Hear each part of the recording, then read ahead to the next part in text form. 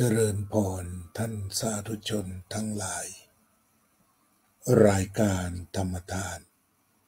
จากวัดพุทธปัญญา เมืองพมนารัฐแคลิฟอร์เนีย ประเทศสหรัฐอเมริกา มาพบกับท่านผู้ฟังท่านผู้ชม ในวันที่ 22 เมษายน พุทธศักราช 2567 ตามปกติ รายการธรรมทาน จากวัดพุทธปัญญา จะนำเสนอการศึกษาพระไตรปิฎกและหากมีเหตุการณ์ใด ๆ ก็จะวิเคราะห์ผ่านรายการธรรมะหลายมิติ แต่เนื่องจากสภาวะคอที่ไม่ปกติ คุณหมอได้แนะนำว่าไม่ควรจะพูดต่อเนื่องกันถึง 30 นาที แต่บางคราวก็เกินอยู่เรื่อยๆเหมือนกัน ก็พยายามจะจบให้ไว ตามคำสั่งของคุณหมอ เลยงดรายการธรรมะหลายมิติไปตลอด หากคอดีขึ้น คุณหมอมีคำสั่งเปลี่ยน ก็จะได้มาจัดรายการ คือเช้า ตามเวลาท้องถิ่นในสหรัฐอเมริกา ในรายการธรรมทาน จากวัดพุทธปัญญา ก็จะนำเอาพระไตรปิฎก มาอ่านสู่กันฟัง ส่วนบางคราวที่มีเหตุการณ์ อันจะเชื่อมโยง กับการก่อให้เกิดการเรียนรู้ร่วมกันและเกิดปัญญา ได้เข้าไปสู่หลักการในทางพระพุทธศาสนา ก็จะมาศึกษา ทำความเข้าใจกัน มีเรื่องในทางสื่อและทางสังคม ที่พูดกันมาเป็นเวลาหลายเดือน คือเรื่องการเชื่อมจิต ผู้เปิดประเด็นใช้คำนี้ ก็คือกลุ่มเยาวชนที่เผยแผ่ธรรมนำโดย ผู้ที่ใช้นามว่าน้องไนท์หรือเทวา เนรมิตจุติ โดยมีคุณแม่ คุณพ่อ เป็นผู้ช่วยคำว่าเป็นผู้ช่วย หมายความว่า บางคราวในสิ่งที่น้องไนท์พูดออกมา คนทั่วไปไม่เข้าใจน้องไนก็พยายามสื่อทำความเข้าใจ และคุณแม่ก็จะมาอธิบายอีกครั้งหนึ่ง เรื่องการเชื่อมจิต ซึ่งถือว่าเป็นคำเด่นประจำของคณะเทวานรมิตจุตินี้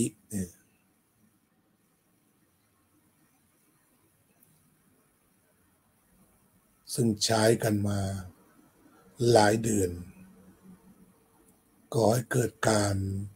ถกเถียงในทางสังคม ว่าเป็นวิถีพุทธหรือไม่ เป็นพุทธกิจหรือไม่ อยู่ในพุทธธรรมคำสอนของพระพุทธองค์หรือไม่ หรือพระองค์เคยใช้เรื่องนี้เมื่อไรอย่างไร เพื่อที่จะลำดับความให้เข้าใจง่าย ๆ ดังที่ได้ฟังคลิปล่าสุดของคุณแม่นก ที่อธิบายการเชื่อมจิต โดยแม่นกอธิบายคล้ายๆว่า เหมือนโทรศัพท์ไปหาในลักษณะการสื่อ เหมือนการโทรศัพท์จากคนหนึ่งไปหาคนหนึ่งไปหา นี่กรณีหนึ่ง ที่เธอให้คำจำกัดความและอธิบายเพิ่มว่า เวลาที่พระพุทธองค์ทรงแสดงทำแก่พระสงฆ์เป็นร้อยเป็นพัน ถ้าใช้เสียงเปล่าก็จะไปไม่ถึง หรือทั้งน้องไนท์และคุณแม่ ก็ได้ยกตัวอย่าง วันประชุมสงฆ์สังฆมมหาสังฆนิบาต ที่เวลวนาราม 1,250 รูปนั้น โดยทั้งแม่นกและก็น้องไนท์ได้แสดงความเห็นเอาไว้ว่า เช่นแม่นกอธิบายว่า หากไม่นัดทางทางจิต โดยเฉพาะหากไม่นัดด้วยการเชื่อมจิต ซึ่งอธิบายเพิ่มว่าเหมือนโทรศัพท์ แล้วพระเหล่านั้นท่านจะมาอย่างไร ซึ่งต่อมาน้องไนท์ก็ได้ใช้กรณีศึกษานี้ มาอธิบายว่า พระสงฆ์จำนวนพันหาก พระพุทธองค์ไม่ใช้การเชื่อมจิต ใช้พระสุรเสียงอย่างเดียวไม่มีไมโครโฟน จะแสดงธรรมเข้าถึงได้อย่างไร อันนี้ก็ยกเอาวันมาคาบูชา วันมหาสังคนิบาตที่พระสงฆ์มาประชุมกันโดยไม่ได้นัดหมาย ทั้งคุณ ทั้งทั้งน้องแล้วก็คุณแม่ มีความเห็นเช่นนั้น ก็พยายามจะจับความให้สมบูรณ์ และถูกต้อง แต่ว่าพูดอย่างไรคือความแม้จะจับมาก็ไม่ให้แตกออกไป จากความเหล่านั้น เพื่อที่จะเป็นรากฐานการศึกษา ไม่ได้มีเจตนาจะนำมา ด้อยค่า หรือนำมาทำให้เสื่อมเสียแต่ประการใด แต่ในการที่เราจะทำความเข้าใจ ความคิดของใคร ต้องนำเอาความคิดของคนนั้น มาวางอย่างครบถ้วนเสียก่อน คือไม่ตัดตอน พยายามสัมพันธ์ให้มากที่สุดในคำที่น้องแล้วก็ คุณแม่นกได้กล่าวไว้ ในทำนองนี้ในหลายครั้งหลายครา ในการอธิบาย ในการเชื่อมจิตน้องไนก็บอกว่าเข้าไปสอนในจิตก็คุณแม่ก็ขยายความว่า เมื่อน้องไนเชื่อมจิตได้แล้ว ก็จะเข้าไปอยู่ในจิตคนนั้น และคุณแม่ยังขยายความว่า การสอนธรรมแต่ละคนต่างออกไปในเวลาเดียวกัน เช่นจะมีการรายการเชื่อมจิต แต่ว่าจะต้องส่งจิตไปแต่ละคนด้วยธรรมะที่ไม่เหมือนกัน แก้ปัญหาเป็นคนคนไปนี่คุณแม่อธิบาย เช่นนั้น ในการเชื่อมจิตในการแสดงธรรมแก้ปัญหาการติดขัดของผู้ปฏิบัติเป็นรายรายไป แต่ทำคราวเดียวกัน หลายหลายคนหรือว่าท่านผู้ใดมีข้อความที่เป็นจริงที่คลิปทั้งคุณคุณแม่และลูกได้พูดไว้ มาเพิ่มก็ได้ จะคุยไปช้าๆ เพื่อทำความเข้าใจหรือว่ายึดหลัก ดังที่สมเด็จพระพุทธโฆษาจารย์ท่านกล่าวไว้ว่าชาวพุทธต้องมีหลัก ทีนี้ต่อไปก็จะนำเอาหลักมาเทียบ หลังจากได้เนื้อความว่า เจตนาการใช้คำว่าเชื่อมจิตของน้องไนท์กับแม่นกนั้น เป็นเช่นไร สรุปอีกทีหนึ่ง การเชื่อมจิตของน้องไนท์และแม่นก มีลักษณะคล้ายๆโทรศัพท์ ในปัจจุบันนี้ หรืออาจจะมีการเชื่อมคล้ายๆเชื่อม Wi-Fi เชื่อม Wi-Fi เข้าไปก็ได้ เพราะมันเชื่อมเป็นเครือข่ายได้ เหมือนการส่งอะไรทาง Wi-Fi นั่นเองความหมายเบื้องต้นอันดั้งเดิมของคุณแม่และก็ลูกมีเจตนาอย่างนี้วิธีก็คือนำจิตเข้าไปเชื่อมกับคนที่มีปัญหาธรรมะ แล้วก็เข้าไปแก้ปัญหาในส่วนนั้น ก็ได้ข้อความตั้งต้นนะ ตามสมควรแล้วอาตมาก็จะขอกล่าวถึงองค์สมเด็จพระสัมมาสัมพุทธเจ้า โดยการเสนอว่า เมื่อตรวจสอบตามพระไตรปิฎกอัตถกถา วรรณกรรมพระพุทธศาสนาทุกอย่าง องค์สมเด็จพระสัมมาสัมพุทธเจ้า ไม่ได้เคยใช้วิธีเชื่อมจิต ในการสอนพุทธธรรม ในการสอนธรรมะแต่ประการใด แต่มีวิธีการมากมายที่พระองค์ทรงนำมาใช้ แต่ไม่มีการเชื่อมจิต เรื่องปาฏิหาริย์พระพุทธองค์ก็ใช้ทั้งอิทธิปาฏิหาริย์อาเทศนาปาฏิหาริย์และ อนุสาสนีปาฏิหาร ใช้ปาฏิหารแต่ไม่ใช่การเชื่อมจิต หากเราศึกษาพระไตรปิฎกในส่วนที่พระพุทธองค์เสด็จไปสั่งสอนชดินสามพี่น้อง ชื่ออุรุเวลกัสปะนาทีกัสปะขยากัสปะ ที่อุรุเวลาเสนานิคมนั้น พระองค์ทรงใช้อภินิหารทั้งหมดนะอันนี้ถือว่าใช้ครบชุดเลย ทั้งอิทธิปาฏิหารตั้งแต่ไปขอพัก แล้วทางชดินสามพี่น้อง บอกคล้ายๆอาการข่มขู่ว่า ให้พักเหมือนเรืองไฟของพญานาค ทั้งทั้งที่ พวกเขานั้นเชื่อว่า พญานาคคงจะฆ่าพระพุทธเจ้าทิ้งเสีย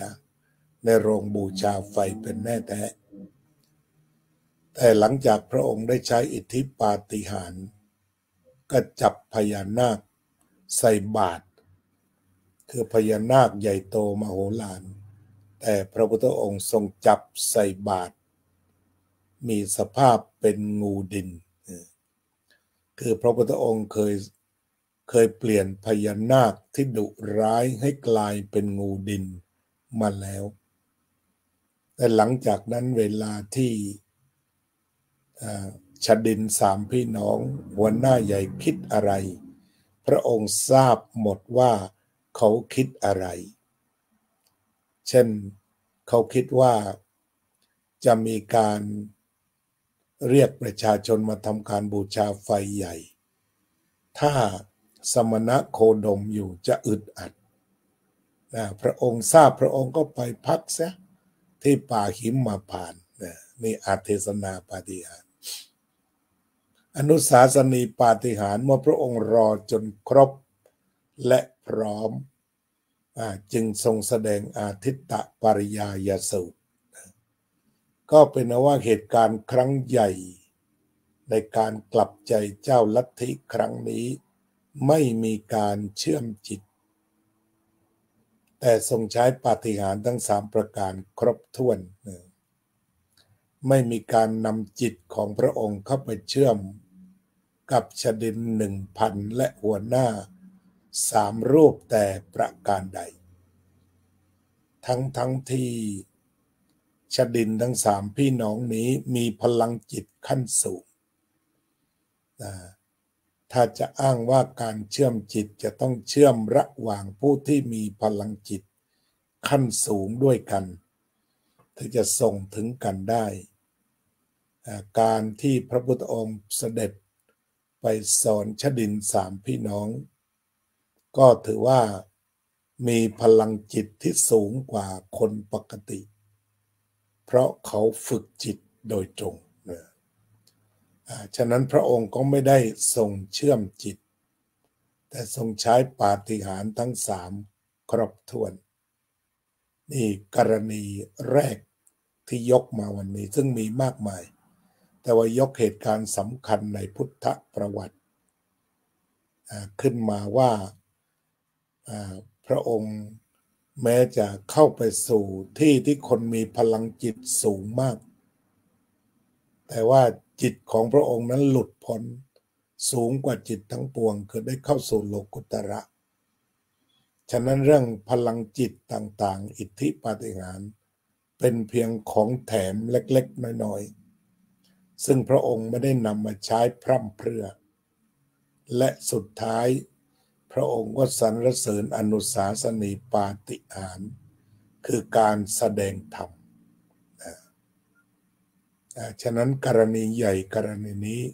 ไม่มีการเชื่อมจิต และการแสดงธรรมการแสดงธรรมก็เช่นกัน ที่ประชุมที่เวลวันนั้นมีเพียง 1,250 รูป แต่การแสดงธรรม ที่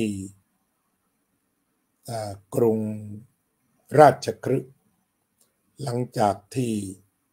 อุรุเวลกัสปะนติกัสปะขยากัสปะและบริวารได้ตามเสด็จ พระผู้มีพระภาคในกรุงราชคฤห์มีผู้ฟังประมาณการหลายหมื่นคน หลายหมื่นคนทีเดียว แล้วก็บรรลุธรรมก็หลายหมื่นคนด้วยในวันนั้น ตั้งอยู่ในไตรสรณคมก็หลายหมื่นคน แต่กรณีนี้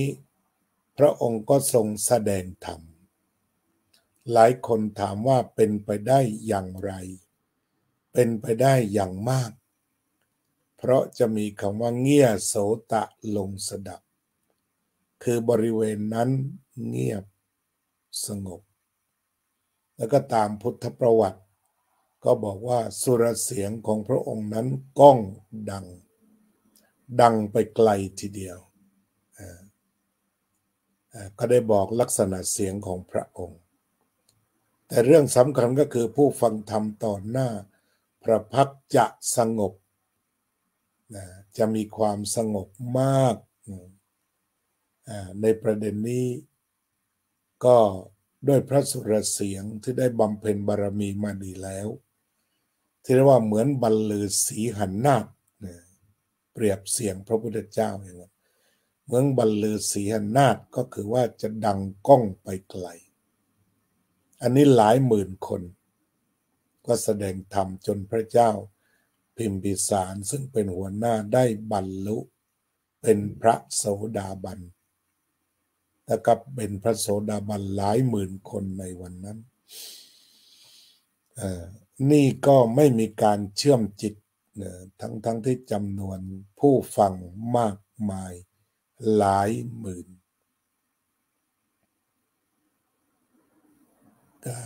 การที่เสนอกรณีนี้ขึ้นมา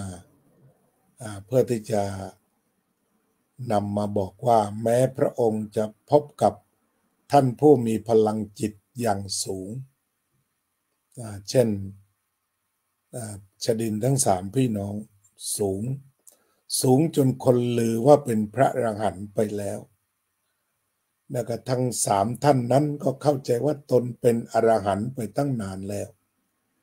โดยเพราะอุรุเวลกัสปะพี่ใหญ่ ก็คิดว่าพระพุทธเจ้าแสดงฤทธิ์ได้ แต่สู้ตัวเองไม่ได้รอกตัวเองเป็นอรหันต์ แล้วพระพุทธองค์ก็ทรงทราบ ทราบแล้วรอคอย จนเกิดความพร้อมขึ้นมาทั้งพันกว่าคน จึงได้ทรงแสดงอาทิตตปริยายาสุก็ขอยกมาเป็นประเด็นเดียวก็พอ ทีนี้ถ้ามาเทียบกับที่คุณแม่นกได้กล่าวไว้ ว่าเหมือนกับเป็นการโทรศัพท์ การแสดงธรรมครั้งใหญ่ครั้งนี้ก็ไม่มีรายการโทรศัพท์ หรือที่เขาเคยเรียกกันกันว่าโทรจิตไปหา แต่ประการใด ไม่มีปรากฏในพระไตรปิฎกว่าพระองค์จะโทรหาอุรุเวลกัสปะ เพื่อขอที่พัก แต่พระองค์เสด็จไปด้วยพระบาทเลยไม่มีโทรจิต ไม่เชื่อมจิตตั้งแต่ต้น แล้ว ในกรณีนี้พระองค์ตกอยู่ในท่ามกลางอันตราย ถ้าโดยความเชื่อคือพญานาคที่ดุร้าย สามารถพ่นไฟบังหวนควัน ให้สิ่งที่ขวางหน้าแหลกลานไปในพริบตา ซึ่งเสี่ยง ถ้าพูดตามประษาคนกลัวคนขี้ขลาด ก็คงจะนั่งอยู่ข้างนอก แล้วก็เชื่อมจิตกับพญานาครบกันในสมาธิก่อนถ้าใช้วาทะแบบของน้องไนท์ก็บอกแสดงธรรมในสมาธิ คุยกันในสมาธิ สนทนากันซะก่อน แทนที่จะเข้าไปให้นาคมันพ่นไฟใส่ แต่นี้พระองค์เปลี่ยนพญานาคให้หมดพิษ เป็นงูดินเชื่องเชื่องอันนี้เมื่อพูดถึงพญานาค ก็มีทั้งอันธพาลพญานาคอันดาพานที่แม้กับพระพุทธองค์ก็ไม่ไว้ ไม่ไว้ชีวิตในพญานาคตัวนี้ แต่พระองค์ก็ทรงมีเมตตา ตื่นเช้าขึ้นมา พวกชดินคิดว่า มรณภาพแล้วล่ะ ก็เลยจับใส่บาตรมาให้ดู โอ้ต้องพาต้องพาของวิเศษกลับไปเลี้ยงเจื้องหรือพาไปปล่อยตรงไหนแล้ว งูดินชัดๆเลย หมดฤทธิ์หมดพิษ หมดสงหมดเดชอันนี้แต่ไม่ได้เชื่อมจิตเน้นไม่ได้เชื่อมจิตอันนี้ก็เป็นประเด็นที่ ทำความเข้าใจด้วยกัน หรือแม่แม่นกได้ฟัง ก็อาจจะไปศึกษาเพิ่มเติมได้น้องยังอ่านหนังสือไม่ออก ตรงนี้ก็อภัยให้น้องเขาก็เป็นสิ่งที่ผู้ใหญ่จะต้องนำอ่านตำรับตำรา ให้ถูกต้องถ้ารักจะเผยแผ่พระพุทธศาสนาก็อ่านตำรับตำราประวัติ ความเป็นมาเสีย ถ้าคุณพ่อคุณแม่เห็นว่าสิ่งที่พูดไปพลาดผิด ต้องหาข้อมูลเพิ่มเติม ก็ไปหาข้อมูลเพิ่มเติม แต่ว่าเชื่อมจิตไม่มีอย่างแน่นอน วันหลังจะได้นำมาคุยสักชุดหนึ่งเรื่องเชื่อมจิตนี่แหละ ว่าว่าไม่ได้มี แต่ว่าอันนี้ยก ยกกรณีเดียว พอดีก็เกือบจะ 30 นาทีไปแล้วนะยกมากรณีเดียว เพื่อใหเห็นว่าการเชื่อมจิตไม่มีในพุทธกิจ คือพระองค์จะเสด็จไปไหนก็เสด็จไปเลย ไม่โทรศัพท์ ไม่โทรจิตไปหาใคร หรือว่าไม่เชื่อมจิตไปหาใคร แต่พระองค์เสด็จด้วยพระบาทเปล่า ตรงนี้ก็ตั้งแต่นู่นแหละ ผู้มีพลังจิตสูงเช่น พระโกนทัญญะ พระวัปปะ พระพัติยะ พระมหานามะพระอัศชิพระองค์เสด็จพระบาทเปล่าหลายวัน จากพุทธคยามาพาราณสีนะต่อไปจะได้นำเสนอพระธุดงที่ไปธุดงที่อินเดียให้เดินตามรอยนี้สักครั้งหนึ่ง ว่าใช้เวลากี่วันให้วัดเท้ากัน เสด็จเสด็จตามรอยพระพุทธบาทต้องไปบอกท่านอาจารย์จรันสักรอบหนึ่งเอาลอง ลองหาวันเวลาที่คล้ายกัน คือจะสรู้วันเป็นขึ้นสิบห้าค่ำเดือนหอกแล้วบวกด้วยสี่สิบเก้าไป จากนั้นก็เดินมา ที่ป่าอิสิตปตนะมฤคทายวัน เมืองพาราณสีแม้ว่าพระปัญญวคีผู้ใกล้ชิดพระพุทธองค์ มีพลังจิตสูงมาก เชื่อมได้สบายสบายทว่านิยมเชื่อมส่งหรือทำอะไรกันได้เลย เพราะว่าเช่นพระโกนทัญญะเนี่ยสุดยอด อาจจะเรียกว่าสุดยอดหมอดูก็ได้ แล้วก็มาปฏิบัติ พระพุทธองค์ ก็ไม่มีการเชื่อมจิต พระองค์ก็เสด็จด้วยพระบาท มาอย่างพระปัญจวัคคีย์พระปัญจวัคคีย์บอกว่าเห็นไกลๆพระปณวิกีก็ไม่ได้ทราบว่าจะมีพระพุทธเจ้าเสด็จมาหาท่านเหล่านั้น อันนี้ก็เป็นกรณีว่าไม่ได้เชื่อมจิตกันมาก่อน การแสดงธรรมแก่พระปัญจวัคคีย์ใช้เวลาถึงห้าวัน ก็คือวันเพ็ญขึ้นสิบห้าค่ำเดือนแปดแสดงธรรมจักกับปวัตนสูตร นั่งกันอยู่ห้าคน ผู้ที่บรรลุธรรมมีคนเดียว คือพระอัญญาโกนทัญญาแล้วก็ได้ขอบวชห้าท่าน ใกล้ชิดสนิทสนมนั่งอยู่ตรงนั้น พระองค์ไม่ได้มีการเชื่อมจิตเสียบลัก แสดงธรรมคนละเรื่อง แต่พระองค์ทรงแสดงธรรมเรื่องเดียวห้าคน ไม่ได้แยกไป และวันหลัง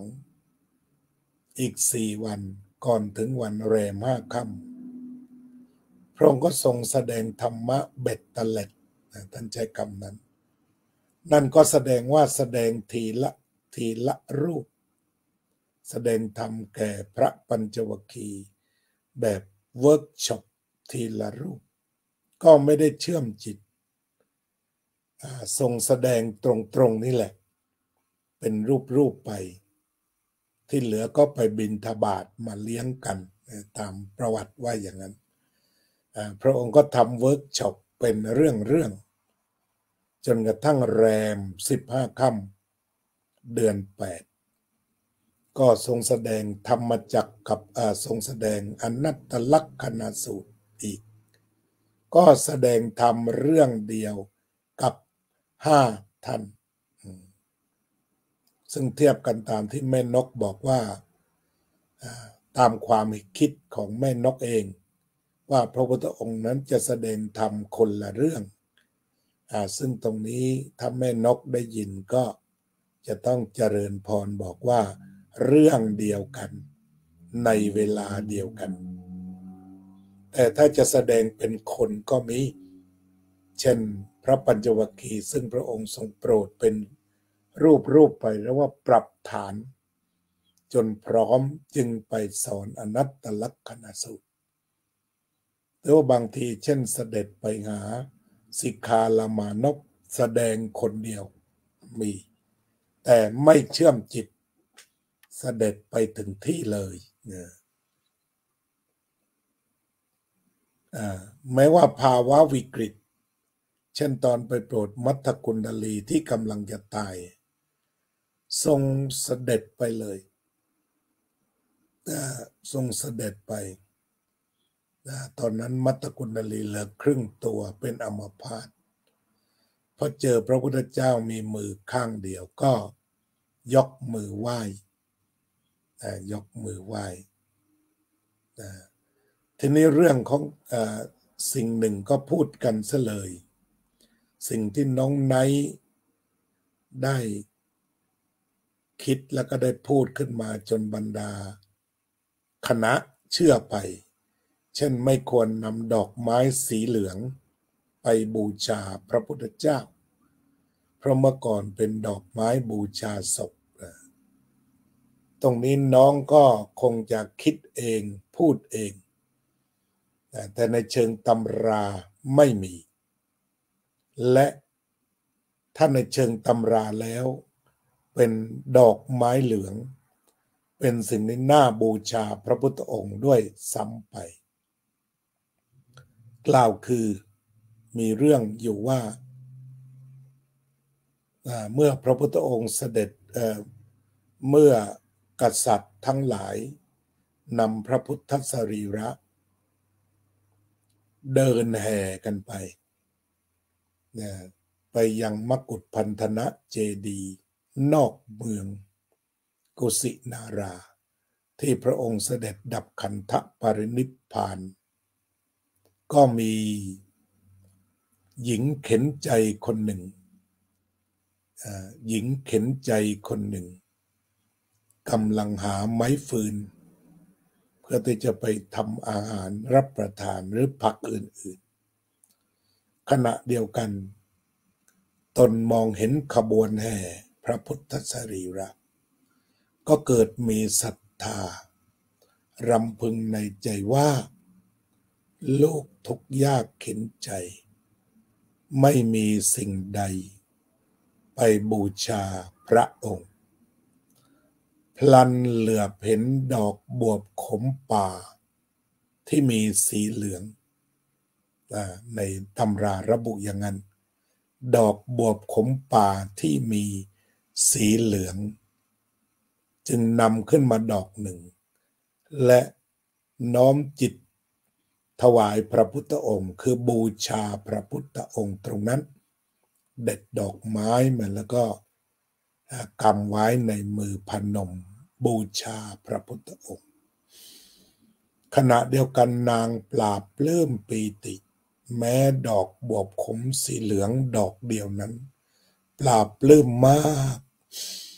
ลืมมองอะไรข้างๆ มีงูเลื้อยผ่านมาก็กัดนาง ทีเดียว นางก็ล้มลงไปเสียชีวิตทันที เมื่อนางเสียชีวิตแล้ว ตามในตำราบอกว่าระดุดว่าหลับแล้วตื่น เหลียวซ้ายแลขวาป่าที่ตนเองล้มลงนั้น หรือที่กำลังหาฟืนนั้นหายไป เหลียวซ้ายแลขวาเป็นวิมานสีเหลือง มองไปทิศไหนก็สีเหลือง มองเข้ามาหาตัวเอง ซึ่งสวมเสื้อผ้าขาดรุ่งริ่งกับผ้าเก่าหายไป มีแต่ผ้าสีเหลืองทั้งหมด เลยในตำราท่านเรียกว่า เทพธิดา สีเหลือง ตรงนี้ก็ต้องเจริญพรไปยังคุณแม่นกน้องไนท์และคณะ ถ้าเราจะอิงตำรากันนิดหน่อย ใช้ดอกไม้เหลือง ดอกดาวเรือง หรือดอกใด ๆ ไปบูชา พระก็ยังได้เหมือนเดิม คือรายการธรรมทานก็แจกธรรมะ โดยจะถือหลักนำหลักมาคุยฉะนั้นสิ่งที่พูดวันนี้เป็นตำราล้วนๆ หากใครฟังแล้วก็บอกว่า ก็จำตำรามาพูดก็ต้องน้อมรับ บวชนานจำได้เยอะ ก็จำตำราทั้งนั้นทีนี้ถ้าท่านหลายท่านบอกว่าใช้การบรรลุเอาก็อนุโมทนา ถ้าว่าบรรลุจริงก็อนุโมทนา แต่ถ้าไปหลงกับมายาว่าบรรลุตรงนี้ก็จะต้องไปทบทวน ว่าบรรลุจริงหรือเปล่า เพราะบางทีการบรรลุธรรมนี่มันหลอกเจ้าของเอาอยู่เหมือนกัน อย่างสมัยหนึ่งมีพระพุทธมีพระสงฆ์สามสิบรูป ไปปฏิบัติธรรมอยู่ในป่า จนจิตสงบมาก ตนเองคิดว่าบรรลุธรรมแล้ว แต่พระพุทธสาวกก็ไม่แน่ใจ ว่าบรรลุธรรมนี่จริงหรือเปล่า ก็ต้องมาหา confirmation ก่อนมาหาพระพุทธเจ้า ก็เสด็จมาหาพระพุทธเจ้า ตรงนี้แหละนะพระองค์มีอาเทศนาปาติอาน คือทรงทราบวาระจิต ว่าภิกษุทั้ง 30 รูปนี้ มาหาพระองค์เพื่อที่จะพยากรณ์อรหันต์ เราเรียกกันว่าพยากรณ์อรหันต์ว่าคนโน้นคนนี้มีมรรคผลอย่างไร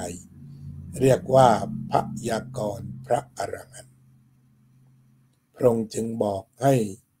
พระเหล่านั้นไปพักในป่าช้าผีดิบก่อน ในอินเดียมีป่าช้าผีสุกแล้วก็ป่าช้าผีดิบ ป่าช้าผีสุกก็คือเผาแล้วก็ทิ้งแม่น้ำไป ขี้เท้าทิ้งแม่น้ำไป ส่วนป่าช้าผีดิบ ก็มีลัทธิลัทธิหนึ่ง ซึ่งปัจจุบันเรียกว่าศาสนาโซโรอัสเตอร์ แล้วก็ยังมีลัทธิน้อยๆ ที่ว่าเสียแล้วก็ให้สัตว์กิน ดังที่ปฏิบัติอยู่ในทิเบต สับให้แรงกิน ในยุคพุทธกาลนั้นเขาจะพาไปทิ้งทิ้งทิ้ง สมัยที่พระพุทธองค์บำเพ็ญพุทธกิจก็เคยเป็นนอนระหว่างศพเหล่านั้นมาแล้ว พระองค์จึงบอกให้พระอานนท์ไปบอกว่าให้พระเหล่านั้นไปพัก อยู่ในที่เก็บศพในป่าในป่าช้า ก็ไม่ได้เก็บ แรงมาก็กินได้อาหมามาก็กินได้ พระเหล่านั้นพอเดินไปถึงป่าช้าผีดิบ ยังสะดุ้ง สะดุ้งเลย เห็นซากศพลิ้นพัน ตาถลนออกมาหูหลุดมือขาด ก็เลยสะดุ้ง ก็บอกกับตัวเองว่า ไม่ควรไปเฝ้าพระพุทธเจ้าแล้ว กลับไปภาวนา นี่คือความซื่อสัตย์ของผู้ปฏิบัติธรรมคือเพื่อเข้าถึงจริง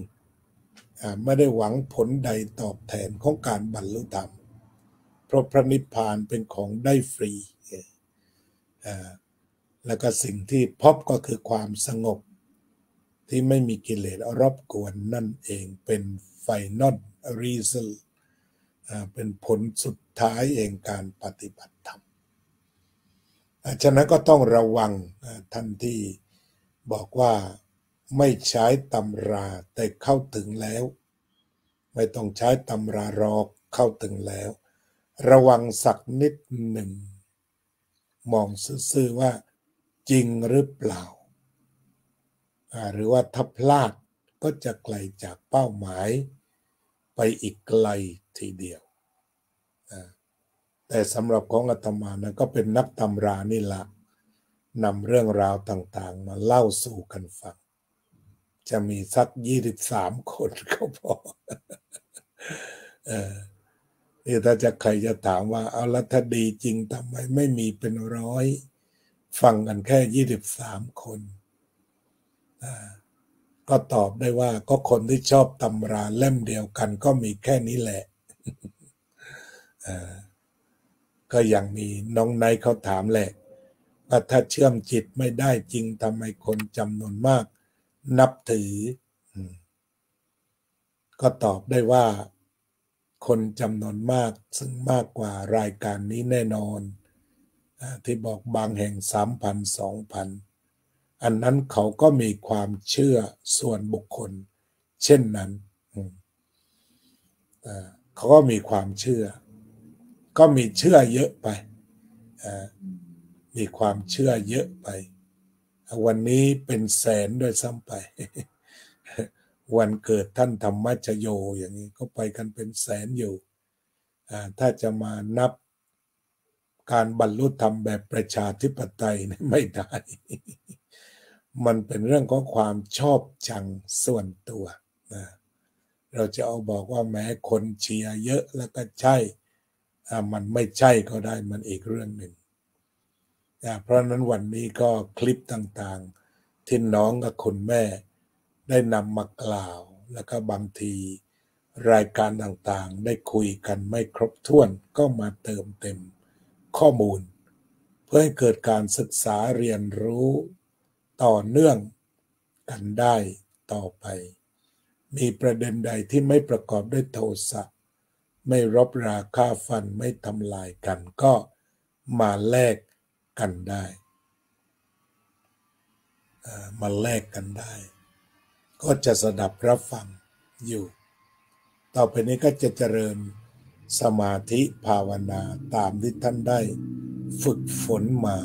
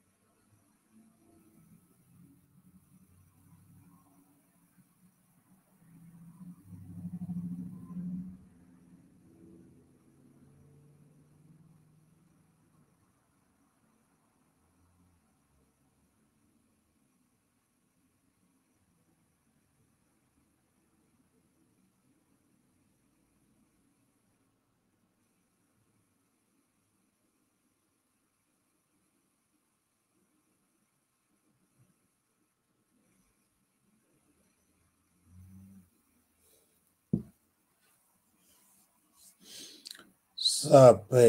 สัตตาสัตว์ทั้งหลาย ที่เป็นเพื่อนทุกเกิดแก่เจ็บตายด้วยกันทั้งหมดทั้งสิ้น อเวราโหนตุ จงเป็นสุขเป็นสุขเถิด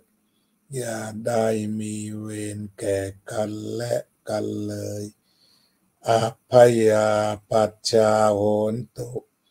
จงเป็นสุขเป็นสุขเถิด อย่าได้พยาบาทเบียดเบียน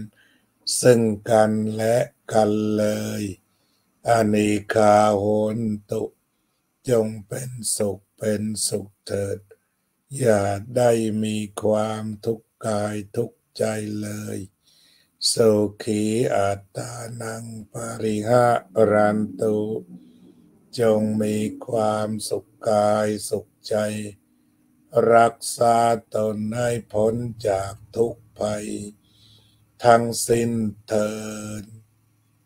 อภิวาทนะสีลิสะนิจังวุธาปจายโน จัตตารโธรรมา วัฏันติ อายุวันโนสุขขังพระลัง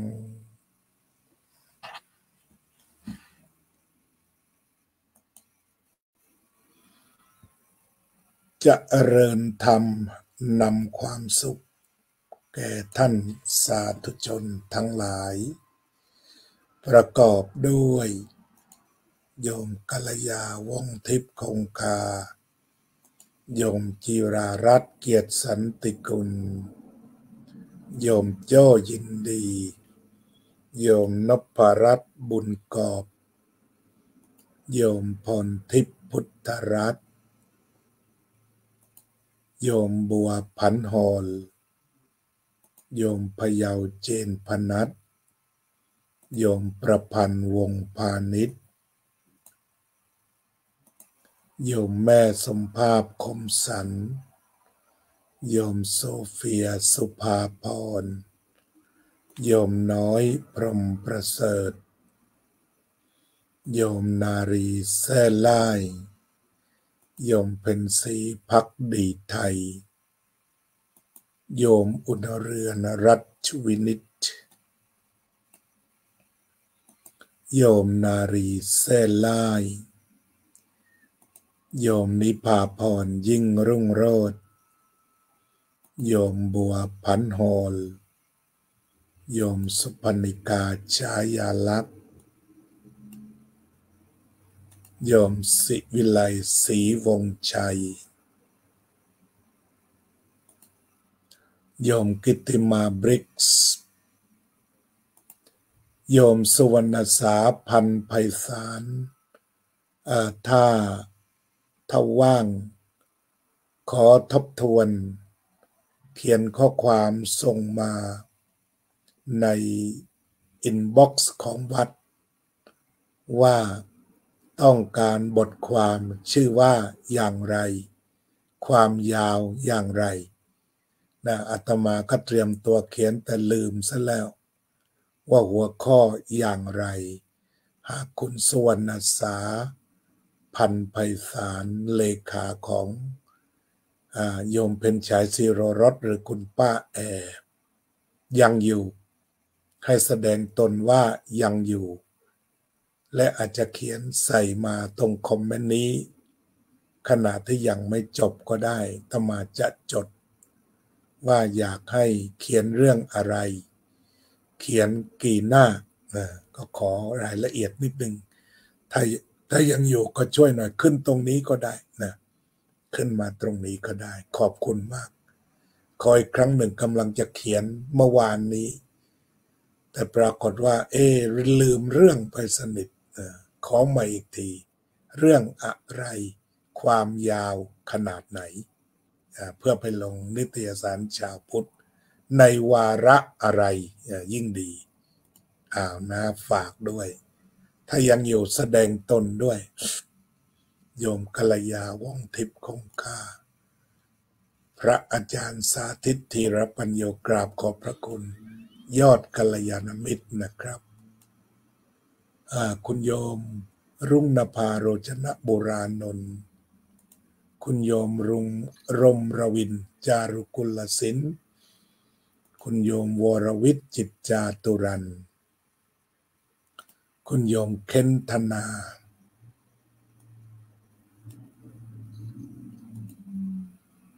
คุณโยมขวัญชัยสืบสีสุข คุยข่าวเก้าโมงเช้า โยมพรพันธ์เบรดเล่โยมศิวิไลศรีวงชัย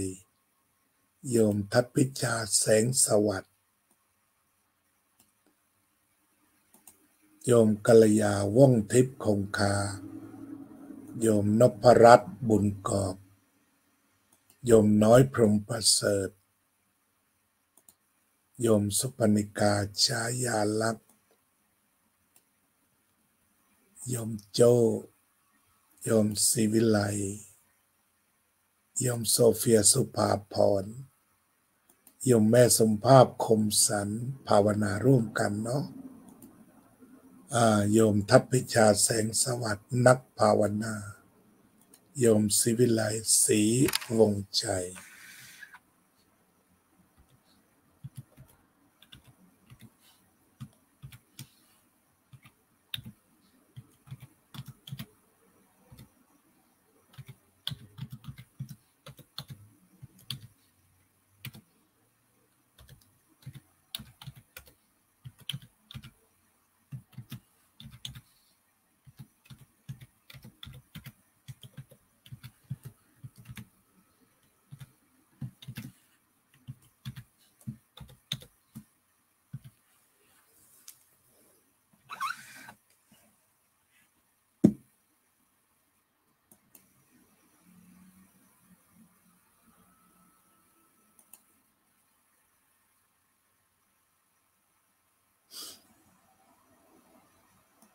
ก็ต้องขออำลาด้วยคำว่า